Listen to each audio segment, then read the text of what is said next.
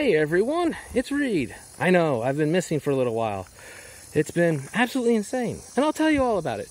But right now, I've got a real quick garden video we're gonna do.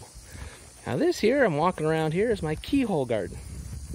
Now, oops, if you don't know what a keyhole garden is, well, it's a garden, it's got a, little, it's round, circular setup. You got this like keyhole thing here in the center. And that's so you can access the center where we put compost and other stuff to feed it. Now this is the first one I built. And I discovered that a lot of things they tell you on YouTube that this is the answer for how things work and all that, don't really work. so I had a lot of problems with this one and it took me a while to get things right. And there's still things I'm still fixing on it, but I'll have it mostly started out. Now, since I learned and actually have an idea of what the heck I'm doing, I can fix this and make the other ones work correctly. And I'll have to make a whole video about keyhole gardens. Now, Liberty Garden has some stuff about it that's good to watch about it too. Now, I want to show you something really particularly interesting. So, this is June. This stuff isn't very big, right? You know, it's like, Reed, how the heck are you going to get anything out of this? Well, trust me, very soon, this is going to look like an overgrown forest.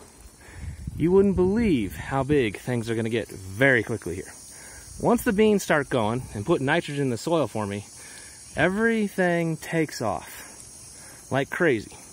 And sometimes you add a little to help keep going. But like I said, you can't use Miracle-Gro. I mean, everything goes horrible with Miracle-Gro. I mean, a bad choice for this soil. Now, urea, on the other hand, that works. But anyways, let me show you something very interesting. Really interesting, at least. Okay, over here, we have a black bean plant. Yeah, black beans like you buy in the store in the bags that you want to eat and consume, or the ones in the cans. Real tasty, I love them, right? Let me show you something else. This right here, black beans. Whoa, look at the size difference between these. What the heck's going on, Reed? Well, planted at the same time. So why is that one so much bigger? Well, that plant is a multi-generational plant localized to my area. Hmm? Exactly. They're selectively harvested and grown beans that produced the best and did the best. And these ones right there, well, they're very happy in this area now. They do pretty darn well. And what's up with this one? Well, these are not. they are not localized to the area. Now, why would I plant ones not localized to the area? Well, it's because I started with a small set and I need additional genetics so I don't end up, you know, inbreeding things over and over again and, you know, things get real dumb. I don't want my beans to turn dumb. so we're going to have some fresh genetics in the mix for this year.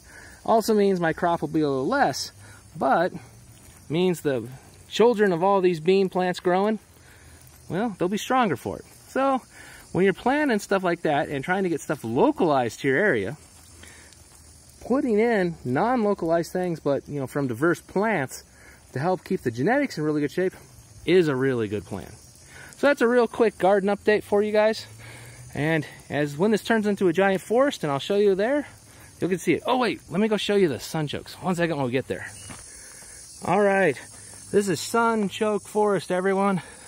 It's huge. These ones are doing outstanding.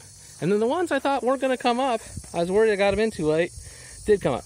Now these ones over here, which are growing like gangbusters, well, they're about three years in to getting used to the area. These ones are brand new. Hmm. Yeah, I think one group has really adapted well. And that's what's interesting.